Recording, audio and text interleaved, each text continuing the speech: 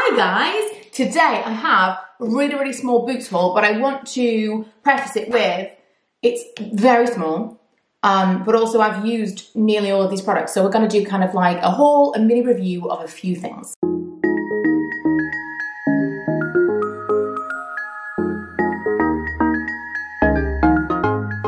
Okay, first things first. I, I mean, two of these things I've been using daily and really, really loving.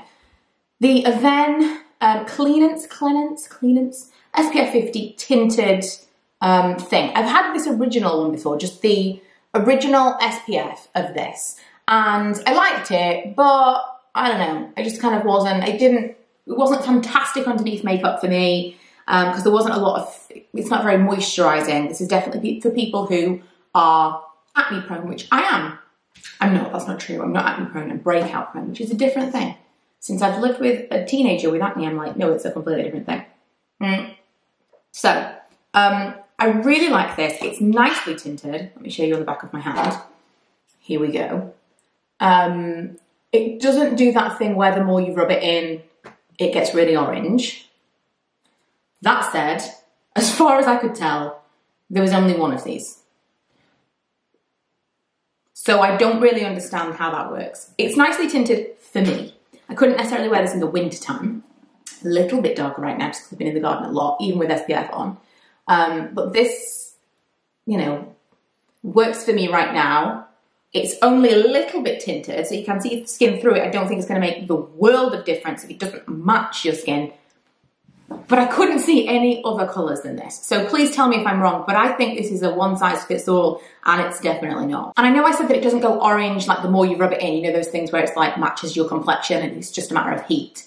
Um, but it does go a little darker when it dries. So I'll put it on, I do everything, and then later on I'm like, mm, if I haven't blended it super well, like maybe today, um, I will notice like a tide mark because it is, it can kind of develop. It doesn't, it's not even necessarily that it oxidizes, but it does, doesn't it? As it dries. Yeah, I suppose it does.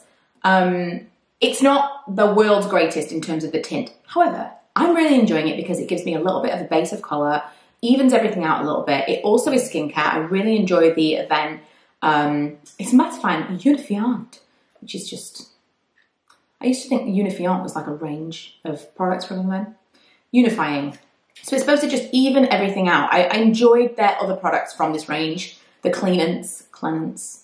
Um, I like that it's SPF 50. I like that it's a little bit tinted, but it's obviously problematic for multiple different reasons. But I wanted to throw it in there um, that I am really enjoying it. And when I picked it up, I looked at it and thought, well, it'll be fine. And I kind of assumed it was just going to be a tiny tint, you know, just like a sun-kissed tint because it was just one product. But I was quite surprised that it is like very foundationy in colour. And um, I think if you were very, very pale, you wouldn't be able to wear that. And obviously deeper skin tones.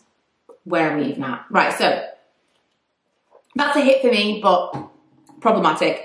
Um, I also got the Max Factor Radiant Lift. This was to go with another Max Factor product. They were doing like buy one, get half off or something. Um, long lasting radiant concealer, all day wear, vitamin C and E, and I got it in the shade light. I wanted to try, it says, on dry skin, instantly looks hydrated, brightened, and lifted from fatigue. Yes, please. Um, I wanted to try something that would be kind of more aimed at older skin. I am 35, I am only 35, but I am noticing more and more that concealer is just like not for me. I'm, I'm trying things and being like, this is this concealer looks terrible.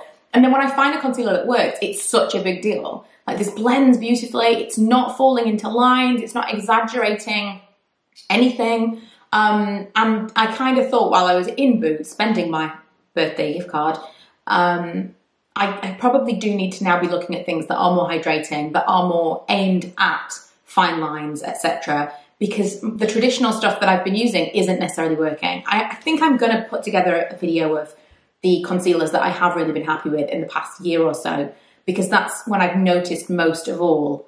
I almost don't want to wear concealer because it makes everything look worse. And I'm steadily finding ones that still work, and this is definitely one of them. It's got one of those things, this might put you off, because I know with the um, Maybelline, it puts people off the sponge tip. Now, I would put this directly onto my face. It's my, I, I don't care. But you could just squeeze it out onto your fingertip and I know it's still a breeding ground because it's a sponge, but doesn't really bother me. Uh, it's a good enough coverage. It's not super, super heavy coverage. It reminds me a lot of the Maybelline Age Rewind in that, you know, it's got kind of a little sheerness to it, a little bit of um, translucence. But I really, really enjoy it. I'm very happy with it. Now, this was shade 02 Light. I picked this one up in 03 Light. And this is the Max Factor Miracle Second Skin Hybrid Foundation. Hydrate, Protect, Renew. Coconut milk. Pre Probiotic Complex. SPF 20. At the back it says, for healthy looking and visibly perfected skin, formula is clinically proven to support skin renewal. Infused with pre slash pro, I don't understand this, biotics to help skin's natural defenses. Naturally derived coconut milk for all day moisturization. Formulated without talc, dermatologically tested, suitable for sensitive skin.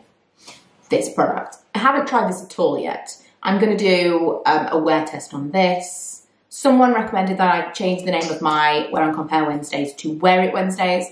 I like that. I think when we're comparing, obviously, Wear and Compare, but when it's just a solo product like this, it's going to be Wear It Wednesday. Enjoy that.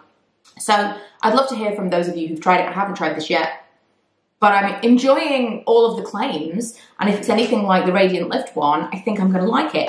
I did get it in a slightly darker colour because I'm going to start tanning soon, specifically for the reviews. Um, I have some things to try and like I'm going to look insane in the vlogs. Um, but watch this space because I've got some some good tans to try. Also, if there's anything specific you want to see me review, um, tanning wise, let me know. Right, the last thing that I picked up, I can talk a little bit about, but this is something long term. So the Eucerin, I think is how you pronounce this, Eucerin, um, anti-pigment. And this is a treatment. It's something, I expected it to be like a tube, and then I got it out of the box and it's this, it's not what I expected at all.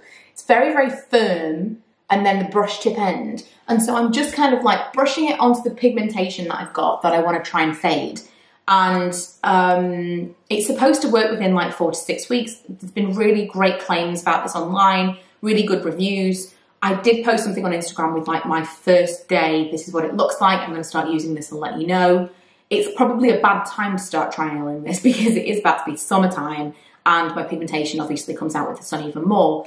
But also, my pigmentation is melasma, which is hormone induced rather than sun damage induced. So although I'm super hot on SPF now, I'm gonna be wearing a hat in the garden, the whole shebang, because I don't wanna make it worse, I could completely have everything lasered off and it could come back specifically because it's hormone related, because it's all about that. And I think part of it is probably to do with the uh, contraceptive that I use. Same thing with the facial hair that I get. At some point, I'm going to have an appointment with a doctor about these things because although I love my contraceptive coil, I do think it's probably causing me some problems in these areas. Um, so I'm just kind of throwing it out there. My pigmentation is not necessarily the same as yours. It may not do anything at all specifically because melasma is difficult to treat, uh, but I am using this and I thought I'd show you what it looks like out, outside the box. Um, so that's it, my little haul slash mini reviews. Hope you enjoyed. Hope you're having a great Sunday. I will see you guys on Wednesday with hopefully a review of this product.